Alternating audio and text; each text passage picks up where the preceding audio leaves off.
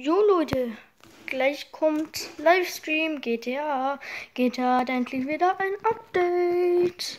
Jo, tschüss. Um 19.30 Tschüss.